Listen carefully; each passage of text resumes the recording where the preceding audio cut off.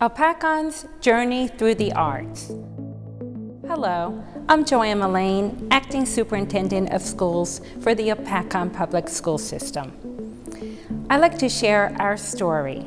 It's a story of inspiration, passion for the arts, and building teacher leadership capacity. Chapter 1, Inspiration.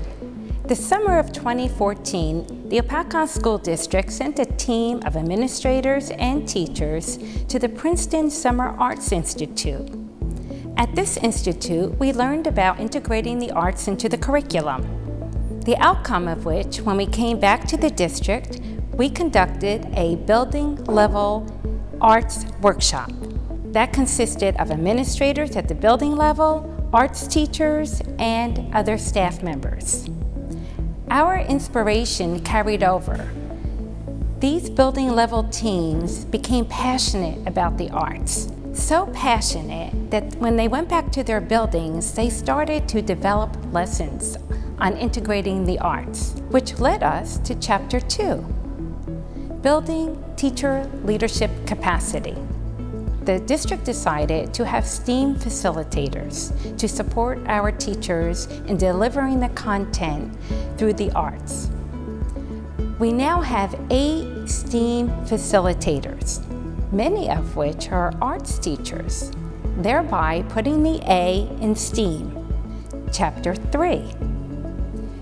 We now have our STEAM facilitators co-planning, co-teaching with our general ed teachers in the classrooms delivering lessons whereby students are learning content through the arts, visual arts, performing arts, music, etc.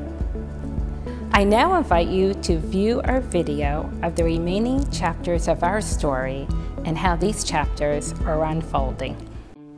What you're about to see is basically a video on the genesis of art infusion within the Hopatcong School District. Before we get to the video, let's talk a little bit about what art infusion is. I can tell you it's not a curriculum. It's a methodology. It's a way of infusing the arts into various academic curricula throughout the district. And the purpose of art infusion basically is to increase student involvement to engage students, to make academics more interesting, to teach them different ways of looking at curriculum. Um, Art Infusion fosters creativity, uh, it fosters critical thinking, it fosters collaboration on students' parts and the interaction between students and teachers. The ancient Greek mathematicians and philosophers believed that uh, the arts should be the most important thing taught in education. I think it was Plato that said that the patterns found in music and arts are the keys to learning. And that makes sense to me as a band director because in the band, we're always talking about rhythm being a mathematical equation. We see it as patterns. We decode, then we translate that into language. The Greeks the ancient Greeks were marvelous in their products, the, the wonderful temples that they built and the architectural structures, uh, their dramas, their plays, uh, their, their wonderful pieces of music.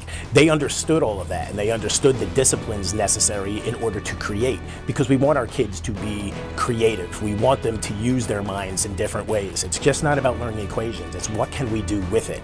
Everything that you see is a product of an art. It's in the design of the room, it's in our clothes, it's in our smartphones that we hold, it's the shape, it's the color, it's all of the things that draw us in. It's video games, it's advertisements, it's all art.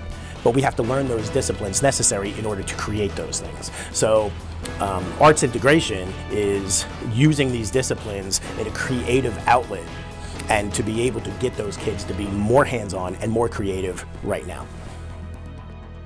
I collaborated with a math teacher on an arts infusion project. In math class, they were focusing on studying units of rate, and then we correlated that through some online internet activities where the students experimented with learning about beats per minute and tempo in music. The students then came to my music technology classroom and composed a ringtone for a cell phone where they selected one style of music for that ringtone, and then they got to play with the, the BPM, the beats per minute, to increase that tempo and decrease the tempo, increasing the number that stood for the tempo or decreasing it, and hear the, the changes that impacted their ringtone for the cell phone. So my experience with Art Infusion started two years ago when I was a part of a delegation that went down to the Summer Institute at Princeton University. And we spent three days uh, learning about Art Infusion, getting the background, the basics, and even diving into some lessons that we could implement when we got back to our school. Um, and that really set me up to be able to talk to the staff here and really hit the ground running so that we can implement things with the English teachers and the social studies teachers, uh, science teachers, and get some really good student engagement in those classes with lessons that, that was fun and engaging that they were interested in. The first thing that I understood about art infusion that made sense to me was when I saw a display of different subject areas and the kinds of mental process that took place across those different subject areas. And what I saw was with art, with literature, with reading, with science in some ways, there's a crossover, the same process that you use when you look at a painting and try to break down what the elements of a painting are and how it works. When you start to look at your reasons for believing certain things are going on in the painting, you're looking for evidence of, of why you feel the way you do and why you think the way you do, I realized that those same skills are the same skills that you use in, uh, in writing. Um, and when I spoke to uh, Ms. Canizero, she immediately understood exactly what that was. So we began a project where I came into the class, we were looking at a painting, I took them through the steps that you would go through when you critique a painting, and then they picked it up from there and began to use that information to put together a writing assignment. And I combined the lesson that Mr. DuBose taught the kids with um, what we do when we read literature. Okay, what, what Mr. DuBose did with the kids was tell them really to read the picture. What do you see in the picture? What text evidence is there? Even though it's visual evidence, it's still textual evidence. You can't say that something's in the picture if it's not there. So the first uh, unit that I did where Mr. DuBose and I just kind of casually came up with it in the teacher's lounge was the American experience, and it transited into not just um, the civil rights, but into the Japanese culture and the influence. And from there, we just took it and I let the kids' imagination go wild with the Japanese influence in rock gardens and in anime and film and music and the areas that they have an interest in. Um, and it's amazing when you tell the students, hey, what can we do with the arts? For this particular unit. Now they're coming to me and they're thinking in terms of can we write music to reflect this? Can we draw this? Can we somehow or another incorporate this background so we have a better understanding? So I'm seeing the student who would normally sit in the back of the room nod their head, now speaking up and saying, hey, I know this, let me take the lead. And they're teaching the teachers, which is really, really nice as well. Well, I think the formula always is if you can increase engagement, you increase retention. If you increase retention, you can increase production. I think it's something we all know. Uh, the difference here, though, is, is finding those areas where cognitive process crosses over in different content areas. We started to develop an arts infusion program in the Hopatcong School District a couple of years ago based on an idea that was um, introduced to us by the uh, Dodge Foundation.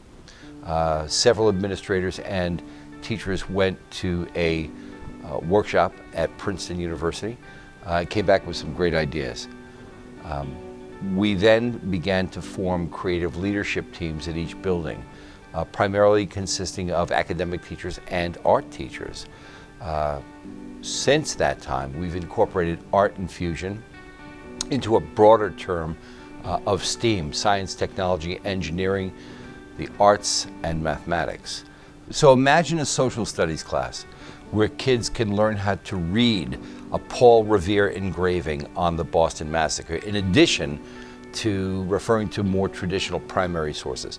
Imagine a phys ed class where students are concentrating on movement and dance and ballet and expressing themselves in that manner. Imagine a science class where students are able to demonstrate the concept of malleability of elements through sculpture and clay. Imagine a math class where kids study and create stained glass based on plotting points uh, and slope. Um, these are the kinds of things, these visual representations of the academic concepts, these are the things that engage non-traditional learners. These are the kinds of things that really foster the interaction, the dialogue between students and teachers in class and among students in the classroom. It's a, it's a great concept. Uh, it's working very well here. Uh, the kids enjoy it. And more importantly, it's made the teachers consult with colleagues. They make a concerted effort to touch base with each other to develop these projects, to get the kids engaged. And the projects can go across content areas, across curriculum areas, so you have teams of teachers working together on arts infusion, promoting STEAM. The arts and technology in STEAM integrated, technology-rich classrooms like the one behind me, moving from lessons that are enhanced by images and videos and sounds and music and, and dance to complete immersive virtual reality experiences, being able to take your students everywhere. Oh my gosh! Moving from lessons that are enhanced by images and movies and videos to new, completely immersive experiences, being able to take your students anywhere.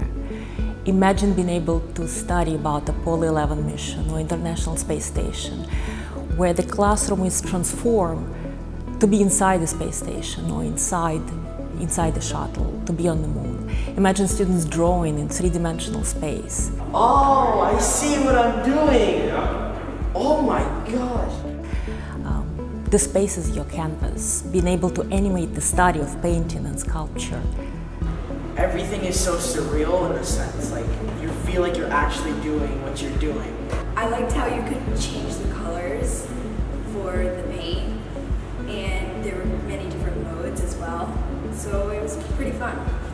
These new immersive experiences involve students in learning in completely new ways, which is much more engaging for them, exciting for them, and um, so much more real.